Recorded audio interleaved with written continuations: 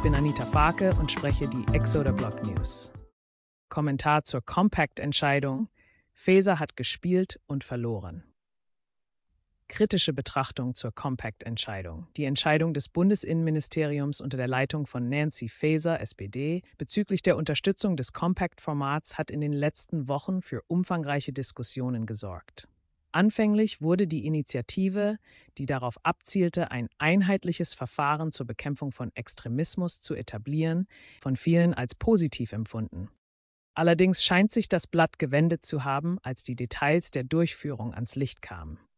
In ihrem Bestreben, eine klare Strategie gegen Rechtsextremismus zu implementieren, hat Faeser nicht nur auf die Unterstützung des Bundes gesetzt, sondern auch auf die Zusammenarbeit mit den Bundesländern gehofft. Diese Kooperation sollte, so die Annahme, die Basis für effektive Maßnahmen im Kampf gegen verfassungsfeindliche Bestrebungen bilden.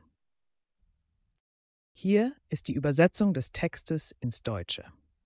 Jedoch stand bereits zu Beginn der Diskussionen die Frage im Raum, ob die angestrebten Ziele tatsächlich durch diese Zusammenarbeit erreicht werden könnten. Die zunächst euphorische Reaktion der politischen Landschaft wurde rasch durch Bedenken über die Praktikabilität des Konzeptes abgelöst. Kritiker hoben hervor, dass der Ansatz von Faeser nicht ausreichend durchdacht war und dass es an einem klaren Plan fehle, um die verschiedenen Interessen der Bundesländer unter einen Hut zu bringen. Es wurde deutlich, dass unterschiedliche Auffassungen über die Definition und den Umgang mit Extremismus bestehen und dass die angestrebte Zusammenarbeit in der Praxis oftmals ins Stocken geraten könnte. Zusätzlich wurde auch die Rolle der Zivilgesellschaft kritisiert. Viele Stimmen aus dem NGO-Sektor äußerten, dass sie von den Entscheidungsträgern nicht ausreichend einbezogen wurden und dass ihre Expertise in diesem wichtigen Fragenkomplex nicht ausreichend gewürdigt wurde. Diese Missachtung konnte zu einem Vertrauensverlust in die Institutionen führen, was besonders problematisch ist, wenn es um das sensible Thema des Extremismus geht. Die Herausforderungen, die sich durch diese Entscheidung ergeben haben, zeigen deutlich, dass die Ministerin in einem komplexen Spannungsfeld agiert. Der Versuch, sowohl politische Zustimmung als auch gesellschaftliche Akzeptanz zu gewinnen, scheint gescheitert zu sein. In Anbetracht des zunehmenden Extremismus in Deutschland ist es bedenklich, dass die Maßnahmen der Bundesregierung nicht effektiv vorangetrieben werden konnten. Ein weiteres Problem ist der Zeitfaktor.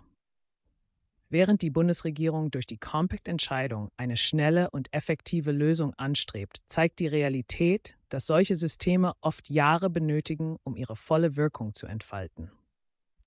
Hier könnte die ungeduldige Erwartungshaltung der Wähler und das politische Tagesgeschäft zu einer gefährlichen Abkürzung der notwendigen gründlichen Diskussionen führen. Zusammengefasst lässt sich sagen, dass die Compact-Entscheidung ein komplexes und spannungsreiches Thema darstellt. Die Ministerin hat mit ihrer Initiative versucht, rational auf eine sehr emotionale und gesellschaftlich brisante Frage zu reagieren. Dennoch sind die gemachten Schritte bisher als unzureichend zu bewerten.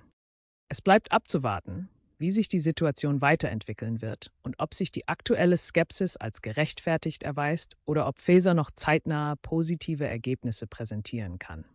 Die Entwicklung dieser politischen Thematik bleibt somit spannend und zeigt, dass trotz guter Intentionen die Umsetzung entscheidend für den Erfolg oder Misserfolg ist. Autor Anita Farke, Mittwoch, 14. August 2024. Danke fürs Zuhören. Denk immer an eine möglichst nette Bewertung, um uns zu unterstützen.